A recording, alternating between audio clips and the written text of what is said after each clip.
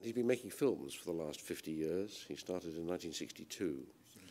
Um, his early years were in a very regimented film industry. The military governments of the 60s, 70s, 80s kept a very tight control of the film industry. They controlled who was allowed to make films, which they linked to who was allowed to import foreign films. Um, they had very strong policy requirements about some of the films that got made, and they exercised strict censorship, which meant that there were quite a lot of topics that were off limits or taboo. And this was the climate in which Imhotep had to learn his craft, so it must have been quite difficult, I guess. And I'm going to suggest that we start with that. Um, you started off as a genre film director. You made lots and lots of films very quickly, um, uh, having begun in 1962. Uh, how was it to be that kind of director in that kind of film industry in the 1960s? 에, 60년대 저는 그 영화계에 에, 1955년도에 그 처음 입문을 했는데요. 어, 제가 영화계에 입문했다는 것은 무슨 좋은 영화를 만들어서 남기겠다는 음, 또 아니면은 그 영화 영화가 좋아서가 아니고 어 그때 그 전쟁 한국 전쟁이라는 그 순환의 세월이었죠. 어 그 당시 그 뭐인가 그 저 먹고 살 길이 없었는데 그 영화에 종사했던 사람이 거기 와서 일을 거들어 주면은 먹고 사는 수는 있다 하는 단순한 그런 이유로 영화계에 입문을 해가지고 어 어쨌거나 제가 영화에 관한 좀 소질이 있었던지 한 5년 동안의 연출부 생활에서 바로 감독이 되고 그 감독이 된 첫 작품이 두만강아 잘 있거라 아, 라는 영화였는데 이게 그 대히트를 해가지고요. 그래서 그, 그 뒤로 이제 그 영화 만들자는 그 주문이 쇄도했는데 한 10여 년 동안 한 50여 작품을 그 남작을 했었고요. 그러나 그 50여 편의 어, 뭐좀 적어본 영화들 쉽게 만들어진 영화들을 지금은 좀 타서 불, 불나서 타고 없어졌으면 좋겠다는 그런 그 조심스러운 희망을 갖기도 합니다만은 이게 아직 없어지지도 않은 것 같고 제 작품이 뭐 70여 작품이나 남아 있다니까요. 어 이제 그러면서 그런 그, 그 값싼 인기의 영화 앞에서 어 이제 영화를 만들었는데요. 그때는 제가 무슨 좋은 영화를 남기고자 했던 것도 아니고 어 뭐인가 또 영화를 잘 만들기 위해서 뭐 교육을 받은 것도 아니고 단지 그저 미국 영화, 구라파 영화 이런 영화들을 어 영화관에서 보는 거와 또 영화 현장의 어, 잡다한 일을 거들어 주는 걸로 그 영화인 생활을 했고요. 이제 그, 그런 그 생활이 그 이제 지금 와서 그 회장컨대 예. 그 50여 편이나 되는 영화를 만든 감독으로서 그 이 뭐라고 해야 되나요? 그 어, 아주 참 그 언젠가 텔레비전을 제가 켜서 보니까 60년대 제가 만들었던 영화가 상영이 되고 있었는데 에, 저, 제, 제 눈에는 무슨 처음 본 영화도 같았고 또 어, 언제 한번 본 영화인 것도 같았고 그래서 그 영화가 끝날 무렵에 에, 봤더니 제가 만든 영화였더라고요. 근데 그- 그렇게 그 버리고 싶고 그 알고 싶고 부끄러운 영화들을 물론 찍었습니다마는 그 어쨌거나 그 많은 영화를 찍으면서 어, 매 작품마다 그 명운을 걸고 찍었던 것도 사실입니다. 그래서 그 좀 어찌 보면 정말 치열하게 찍어낸 영화들인데 지, 지금은 그 없어졌으면 좋겠고 또 그 영화 어찌 보면은 제가 한 감독으로 여- 여기까지 살아남아 있는 그 저력을 키워준 그런 부끄러운 과거인 것 같기도 하고 그렇습니다. I first entered into film industry in 1955. I didn't have any intention to make a good film that will last. Or also, even uh, I didn't even like films. It was just after Korean War and the age of uh, suffering for all Koreans. I didn't have any means to uh, uh, feed my own self. So uh, one person, uh, the person who was already in the film industry, invited me to work for him. Uh, if I uh, help him, then I could. Uh, he will provide me with food. So that's the very simple reason why I came into the film industry. But maybe I have some talent in filmmaking because after five years of experience as a assistant director, uh, in my late 20s, I was able to uh, become a film director in 1962. And my first film, uh, Farewell to Tuman River, was a big commercial hit. So there was a lot of order, uh, a lot of demand on me after that. So that was the reason why I could uh, survive as a film director. And for the following 10 years, I made more than 50 films. So I made a lot of films, and all these 50 films are very cheap exploitation commercial films. And I wish these films will uh, would be burned down. And I have this cautious hope, but they just uh, stubbornly exist, and 70 films still remain among my 100 films I made so far. So uh, I just kept on making films that appeared to cheap popularity, but uh, and I didn't intend to direct a good film that will persist. And I have no formal film education. I just watched the American films and European films at the cinemas, and also I learned the craft by helping a lot of chores in, on the set. And but uh, what can I say? But uh, that life lasted while I was making 50 films. And once I watched this uh, film on the television, uh, instantly, it was made in the 1960s. And that film seems to me, I have never seen that film, uh, but on the other hand, uh, there's a kind of strangely uh, familiar to me. And it was only after the film was over that I realized that I was the director of that film. so I made uh, so many uh, shameful films that I want to dis- discard. But anyway, uh, I, I, could, I would say that, but all these films, I did my best when I directed those films, and I was really intensely uh, focused on these films when I directed these films. And probably uh, uh, that's why I could survive as a film director, and probably that was the foundation of make me what I am now. But I still wish that those films just disappear.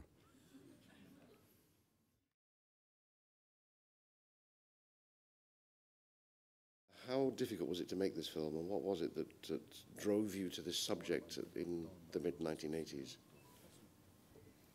네, 그 80년대는 그 군사 아, 정권이 그 어, 사회의 모든 그 불평이나 불만스러운 어, 그런 것을 유발할 수 있는 이런 그 어, 소재에 대해서는 그 엄격한 통제를 해왔던 시대였기 때문에 에, 그런 그 검열의 눈을 이렇게 피해서 어, 이제 영화들을 만들게 되었는데 이 시바지는 아, 지금은 그렇지 않습니다만은 그 대리모를 통해서 그 남아를 그 출산케 하고 그 손으로 하여금 제사를 받들게 하는 우리 그 전례의 어, 조선 시대의 그, 그 가정 얘기를 통해서 어, 1980년대에도 그 왕성하게 살아있는 그런 남아 사, 선호 사상에 대해서 어, 이렇게 우리 사회가 아, 그래도 되겠는가 하는 질문을 던져 보았던 것인데요. 이것은 그 어, 제가 장남인 거로 그 저희 어머니와의 갈등이 있었는데 저는 그, 그 영화 찍기를 그 직업으로 직업으로 하고 어, 있었던 관계로 매번 집을 떠나 있었고 어, 그래서 그 저희 조상의 제사를 자, 장남인 제가 받들어야 되는데 에, 차남인 이제 그 동생들에 의해서 이렇게 그 네, 제사가 받들어지면서 그 제 어머니와 저와 이런 그 갈등이 생겼고 그래서 이런 그 또 사회는 그 어, 무슨 명절날이면은 고향으로 그 자신들의 그 부모 형제를 만나러 갔는데 그, 그 뒤를 보고, 어, 저, 깊이 들여다봤다 보고 있으면 그것이 이, 그, 제2의 그 연결되어 조상 제사를 목적으로 하고 있었고, 그것도 남아 선호 사상과 깊은 연결이 되고 있었던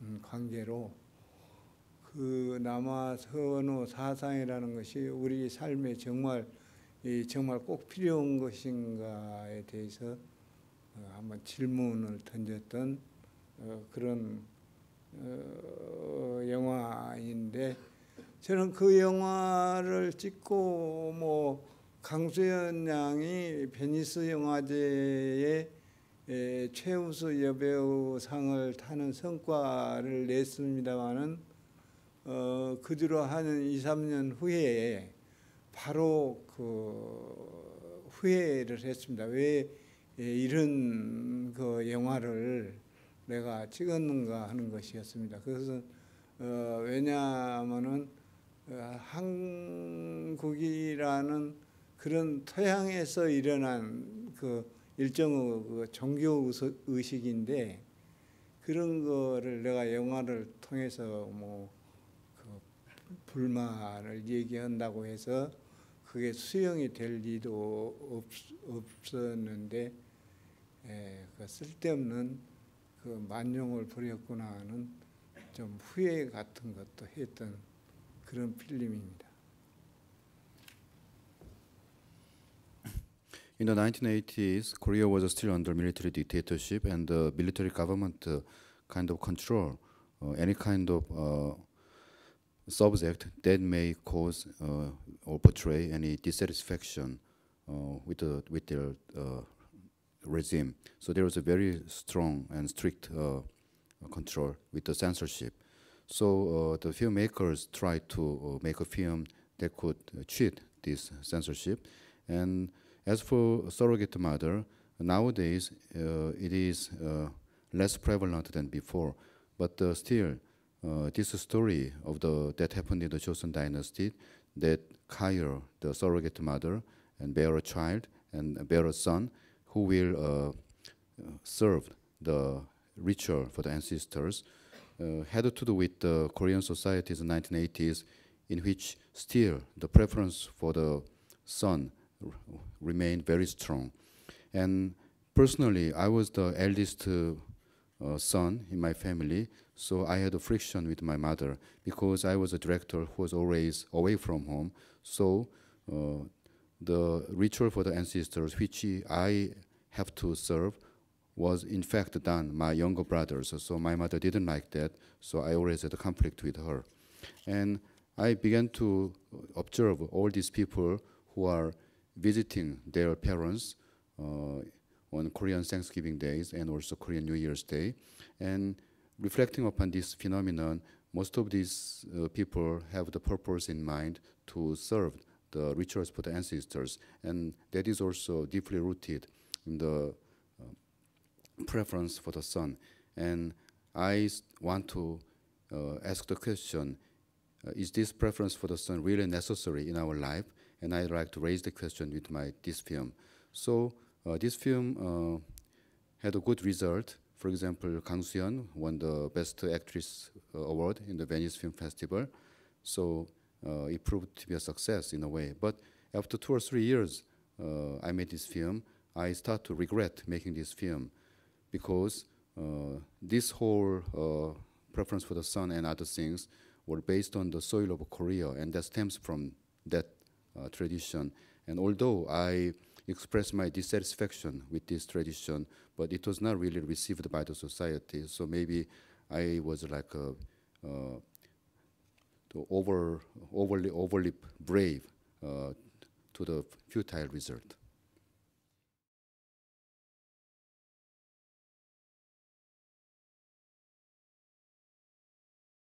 Was this a return to the old genre films? Was, was that what was in your head?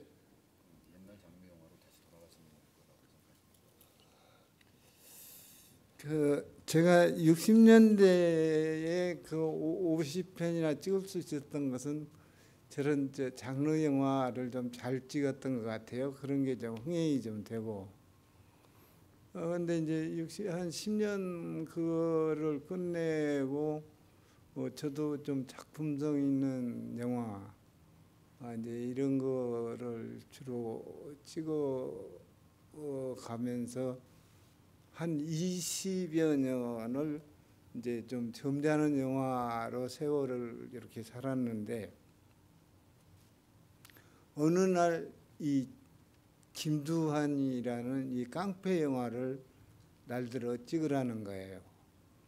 근데 이제 그 영화사가 이런 제의를 하는 거는 제가 20년 전에 그 저질 액션 감독이라는 것을 너무 잘 알고 있는 그 영화 제작자가 이제 예, 그 옛날 그런 영화를 해달라는 건데 저는 그 이- 이제는 그 꽤 저 건강한 영화를 찍는 감독으로 대접받고 있는데 괜히 60년 전 그 그 그런 영화를 찍어서 제 과거를 들출 필요도 없고 해서 절대 못 찍겠다고 이제 버티고 이랬는데 에, 굉장히 많은 그 수차에 걸쳐서 또 그 저를 설득하고 이제 그래서 어 그 뭐 마지 못했다고 마지 못해서 하여튼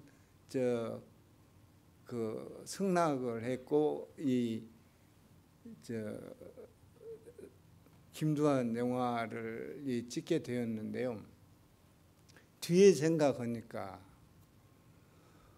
아 제 저한테는 그런 그 저급은 액션물이라기보다 하여튼 그저뭐 저 격투신이나 이런 그 어, 뭐인가 그 깡패들 세계의 그 거친 세계에 대한 어떤 그 미련 같은 게 그 많았던 것 같아요. 그래서 이제 그런 그 어, 마음 안에 있었던 그런 그 본성을 이 드러난 어, 그런 것 때문에 만들어진 에, 이제 영화가 아, 김두한인데 이것도 또 어떻게 잘못돼 가지고 또그 흥행이 굉장히 잘 됐습니다. 해가지고 한국 영화 아저 관객 어, 그 동원 기록을 깼거든요. 이제 그것 덕분에 이제 그이 영화사가 이제 돈을 많이 번 그런 이유로 제가 그 서편지라는 이 영화를 그러면 좀 또 제작을 하자는 제의를 하게 됐고 그 영화사도 어그 어, 이제 장군 아들로 돈을 벌었다는 이유도 있고 또 이 서편제라는 이 영화는 저예산으로도 찍을 수 있는 그런 영화였기 때문에 에, 그 이제 그러면 찍어보자 했는데 그때 감독인 제가 이 영화는 절대 흥행이 될 리가 없다. 단지 판소리를 알리기 위해서 또 우리 젊은 사람들한테도 판소리를 알리기 위해서 어, 그 작은 규모 영화를 찍자고 해서 이제 흥행이 절대 될 리 없다고 했고 어, 제작사도 이런 소재의 영화가 뭐 되, 저 흥행이 되겠냐 우리도 어, 흥행을 기대하지 않는다 해가지고 저는 100여 편 만든 감독으로서 흥행이 안 돼도 그 아무 상관없는 그런 영화를 처음 한 편을 찍어봤습니다. 그래서 그 헐헐 자유롭게 찍었던 것이 이 그게 또 저 김두한 영화의 기록을 또 깨는 그런 또 흥행 대박이 돼가지고 어 그 상당히 그 기대 이상 그 이제 성과를 올렸는데 저는 그런 영화를 찍으면서 어 뭔가 이그 어, 이, 이 우리 판소지 그 누구도 돌아보지도 않고 누구도 그 즐겨지도 않은 이 판소리의 진면목을 끌어내서 알리는 그런 영화를 만들 수 없을까 하는 그런 그 생각을 가지고 어, 영화에 임했는데 그때 그 제- 제가 그 어, 목적했던 것은 판소리가 너무 배우기가 어렵고 또 듣기도 어렵습니다. 그래서 잘 듣는 사람을 귀명창이라고도 하는데 또 그 사회에서 그, 그 인기도 없었고 점점 잊혀가는 옛날 노래가 됐는데 예, 저는 그 수- 판소리가 보이는 어, 영상으로 보이는 그런 영화를 만들어서 소리를 빨리 이해하고 빨리 알아차릴 수 있는 그런 영화를 한번 만들어 보자는 소신을 가졌는데 찍으면서도 또 그때 우리 저 김홍준 교수는 음그 우리 연출부의 에, 그 파스트로서 이 힘든 영화를 만드는데 아주 큰 역할을 했는데요. 어, 그런 역할을 하고 열심히 만들면서도 도무지 이런 게 영화가 되, 는 일을 우리가 하고 있는가 어, 이런 그 의구심을 많이 가졌고 이제 그러면서 그, 그 이제 달리 얘기하면은 저 임권택이라는 영화 감독에 대해서 어떤 평론가는 저 감독은 시행착오의 대가다. 아주 자주 자주 시행착오를 하는 감독이라는 그런 평가를 내리고 있었는데 사실상 그런 시행착오가 늘 있었다는 것은 늘 새로운 것을 해보고자 했던 그런 노력이 뒤따랐다는 얘기인데 예, 그런 노력 끝에 더러더러 이런 그 서편제 같은 큰 성과도 어, 얻어내고 온 어찌 보면 참 그 운이 좋은 감독이고요. 예, 그런 감독으로 나와 있습니다. Uh, in the 60s, among the 50 films I made, uh, they were mostly the genre movies, and there were uh, there are some uh, most most of them were commercial success. But after 10 years of this period, uh, I changed my style and I made uh, films with a sort of artistic merit. And I, for the 20 years until Son of a General, I made some kind of gentle films. But one day, uh, the producer of the production company I was working for suggested that I would make this gangster film about Kim Do-han, and he knew too well about my past, uh, uh, in which I made I was this uh, very low low life uh, film director who made all these genre movies, but I kind of felt, felt felt myself being treated as a serious and healthy filmmaker, and I just refused very staunchly. To make films that would reveal my uh, shameful past. But he persuaded me so many times, and so I ended up reluctantly admitting to directing this film. But uh, looking back, maybe uh, deep inside me, on a, almost a subconscious level, I kind of missed this tough world that I left behind, and maybe I'm very excited about directing these uh, fighting scenes and uh, depicting the world of gangsters. So I think that Son of General kind of reveal my hidden real characteristic inside me, and uh, by mistake, this film became a big commercial success, and uh, it broke all the box office record in Korean in the Korean film history, and I made two more uh, films in the series. So the production company made uh, huge money, and that's why I could suggest that I would like to make this film uh, Seopyeonje, which would be very low budget. And uh, so the production company already made uh, so much money, and since uh, Seopyeonje was going to be a very low budget film, they just allowed me to direct it and gave me a total creative control. And I, I thought this film Seopyeonje will never be a commercial success, and absolutely no chance, because this is film about pansori, and which will alienate young audience. And but uh, I'd like to uh, make a small scale film that will introduce the beauty and the joy of pansori to the audience. And also the production company didn't expect this film to be a commercial success.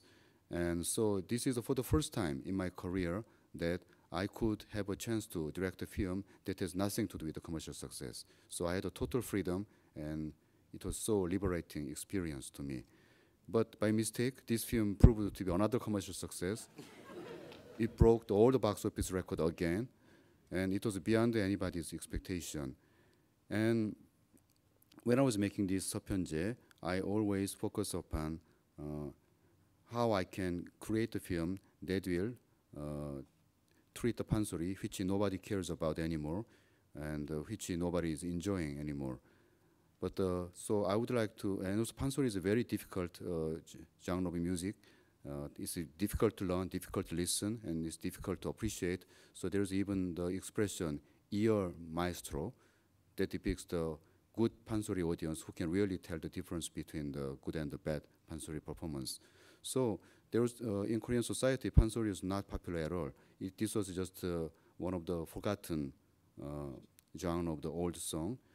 So I would like to make the film that will show the pansori with the visual images. So kind of show pansori with the visual images, so that people can understand uh, its uh, sound. And uh, uh, I was a direct, a first assistant director of the film, by, by the way, and so uh, and this and many people contributed this film in a very uh, productive way.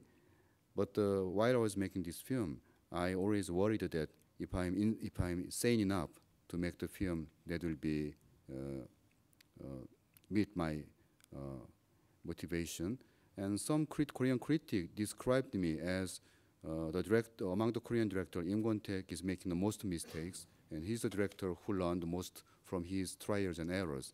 And I think that I made a lot of mistakes because I always tried uh, something new in my films.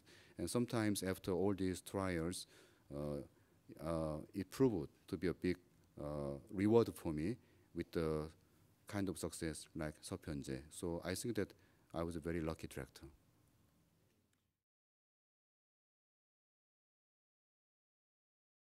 Your film was so popular that I think it actually revived Pansori performance. Pansori performance, which was a kind of dying art, came back in Korean society at exactly the moment. This is 1993, this film. This is exactly the moment of political change in Korea, where you get your first civilian president and society starts to open up and to change very rapidly. And at that exact moment, you bring back a dying folk art. It's a remarkable thing.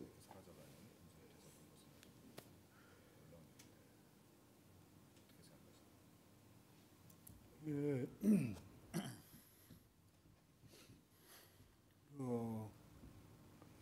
저는 그, 음, 그 앞에 그 두만강아 자리가라 데뷔작이 히트를 어, 치자 이제 그 많은 영화 아, 만들기 주문이 와서 그 정신없이 그 영화 찍기로 살았는데 그 첫번 두만강아 자리거라가 흥행이 잘 됐다고 해가지고 어디 그 저 전라도 쪽 지방 업자가 나한테 그 어느 날 만나더니 내가 돈을 그 많이 벌었다. 어, 내가 술 한 잔 사겠다 해가지고 이제 그 대낮에 광주 뭐 어디 그 어, 기방 으로 들어가서 단 둘이 난, 나는 그때 스물여섯인가 할 때고 그 술을 사주겠다는 흥행업자는 50 가까이 돼가는 사람이었는데 거기서 처음 그 본격적인 그 소리를 들을 수 있었어요.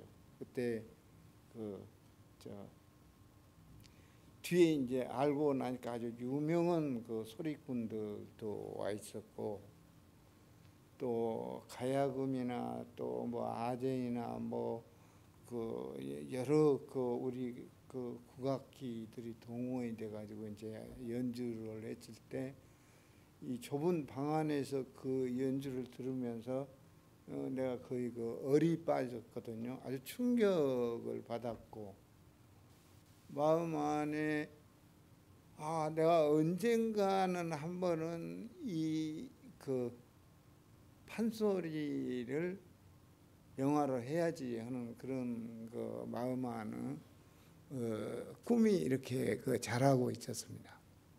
근데 이제 60년대 뭐저 어, 판소리 영화를 찍기는커녕 이제 그 액션몰 뭐 이런 그 많이 이제 찍고 그러면서 이제 한 두어 번은 그 판소리는 아니지만은 이 우리 사극을 찍으면서 이런 그 가사를 판소리제로 해가지고 사, 음악 영화 음악에 사용한 경험이 있었는데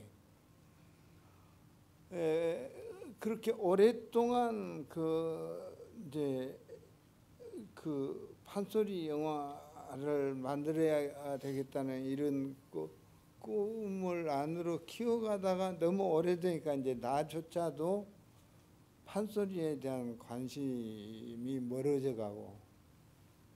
어 그래서 나 스스로도 아 이러다 나, 나도 그 판소리 잃어버리겠다는 생각을 그 했었는데 이제 그때 에, 그 이제 장군우 아들이 영화가 흥행이 되고 해서 그 어, 조정래 전쟁의 태백산맥이라는 영화를 그 제작하기로 되어 있을 무렵인데 여기도 그- 그때 문공부 어, 어, 그 관리로 계셨던 여 직원분들이 여기 계실 텐데 그때 이제 문광부가 이제 못하게 했습니다. 태백산맥을 아직은 그 이념 어, 문제를 객관적으로 다룰 시대가 아니다. 이건 저 공권력을 동원해서라도 막, 막을 테니까 그 저 제작하지 말라 이렇게 돼 가지고 어 그한 1년 제가 노, 그 쉬면은 이 저 그 1년 후에는 대통령 선거가 김영삼 대통령 아니면은 이제 김대중 대통령 두 분 중에 누군가가 되게 돼 있어서 1년 동안만 놀자. 놀고 있다가 제작을 하자는 생각을 해 가지고 이렇게 그 노는데 그 평생을 그 저는 그 영화 찍기와 그 생각으로 세월을 보내다 보니까 어- 어떻게 놀아야 될지 시간을 주어도 몰라요. 그냥 그냥 어, 어떻게 시간을 보내야 될지 그리고 뭔가 그, 그 논다는 것에 대한 강박관념도 있고 해가지고 어 하루는 그 제작자한테 이 서편제라는 소리꾼 얘기가 있는데 노는이 이거 좀 제작해가지고 시간 좀 때웁시다 해가지고 그 저 만들어진 것이 이제 서편제였고 그 서편제가 실제로 이제 우리 국민들한테 우리 이그 판소리, 우리 국악에 대한 그 관심을 어, 갖게끔 음, 아주 그 자극을 주었던 그런 영화가 개봉은 그리고 대통령 선거 후에 개봉. 그렇죠. 김영삼 정권 때 있으니까. Uh, my first film that I made in 1962, Welcome to Tuman River, was a very big commercial success. So since then, there were a lot of demand on me. So I just uh, constantly make many films in the 60s. And one day, just after the commercial success of the Tuman River, one distributor of the film in Jeolla region, which is uh, like a basis for Pansori, uh, invited me to the uh, uh, very uh, luxurious kind of um, drinking house where very similar to the film and i was and so uh, he just want to treat give me a big treat because he made a lot of money from the film i directed. And i was only 26 years old something like that. And just him and myself were in the room. And uh, that was the, the first time that in my life that i really encountered the the best uh, pansori performance uh, by the maestros of that time, and there was many uh, Korean traditional musical instruments were also played. So when I heard this uh, song and play in the small room, I was almost shocked, and I was uh, almost out of mind uh, listening to this uh, beautiful sound. And in my young mind, I decided that one day I would like to make a film about pansori. But uh, in the 1960s, not to speak of pansori, I just uh, was stuck in stuck with making many action movies and gangster movies. But uh, always I wanted to make this pansori film as a, as my dream project. And for, for a couple of times when I directed uh, historical movies, I kind of adapted the pansori style songs in my film's soundtrack. but uh, uh, uh, too much time has passed, and I almost forgot my original intention of this uh, dream project of a Pansori film. So I was almost felt like I was losing it. But after the success of the Son of General, originally uh, my producer and I uh, planned to make the adaptation of the best-selling novel by written by Jo Jung-rae, which uh, was the Tebek Mountains. So uh, we were in the pre-production stage, but one day uh, it was on the still uh, before 1993's presidential election, where still the military government was there, and uh, government did not like the idea of uh, making this into a film, which was ideologically very sensitive uh, in the Korean society that deals with the uh, ideological conflict. So uh, the government kind of threatened us if they're going to stop the film production if it just went on. So uh, we decided to hold the project for the one year because the election was near, and after one year, there's going to be a new president. It's either Kim Young-sam or Kim Dae-jung, and both of them are civilian. So maybe we'll just uh, take a rest for the one year and just waste the time. But uh, I realized that I have been making films ever since uh, when I was young, and I didn't know how to play and just waste time. And it just occurred to me uh, uh, the, the, ideas for the film. And so uh, one day I talked to the, this idea of making Seopyeonje into film to my producer, and I, I just uh, uh, persuaded him that why don't you just make a film rather than simply uh, just playing around for the one year. So that was the how the, pan, the was made. And mm, that was the reason behind the production of Sapyonji. And this uh, eventually released after the presidential election, and Kim Young-sam was elected as the first civilian president in the many decades, and the film was a big success. So the Pansori became popular among the uh, Korean audience.